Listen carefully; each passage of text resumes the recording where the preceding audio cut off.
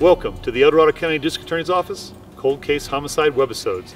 I'm investigator Dave Stevenson, where each month we'll be featuring one of over 60 cold case homicides and asking you, the viewer, to help us catch a killer.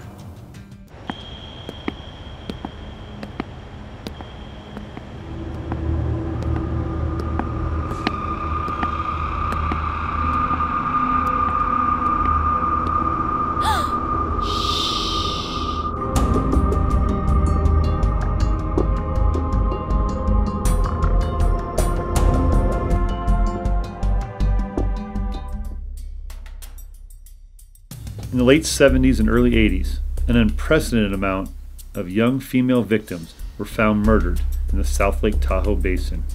Carol Andersen was one of those victims. On July 1st, 1979, at 2:45 a.m., Carol Andersen's assaulted, bruised, and lifeless body was found right here, laid alongside the road, with no attempt to conceal her murder. Carol Andersen's story starts here, where she lived on Cottonwood Street in State Line, Nevada. She attended George Whittell High School and was getting ready to start her junior year. Like teenagers from a small town, everyone knew Carol and Carol knew everyone.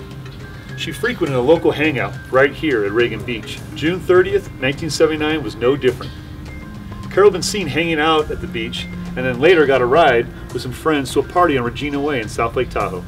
Throughout the night of the party, Carol had been offered rides home as friends would leave, but witness accounts said she stayed behind. And at around 11:30 p.m., it was believed Carol had left the party, possibly on foot, or may have been given a ride by her killer or killers, right here past Heavenly Ski Resort. Was she the victim of a sexual assault, a kidnapping? Did she know her killer or killers?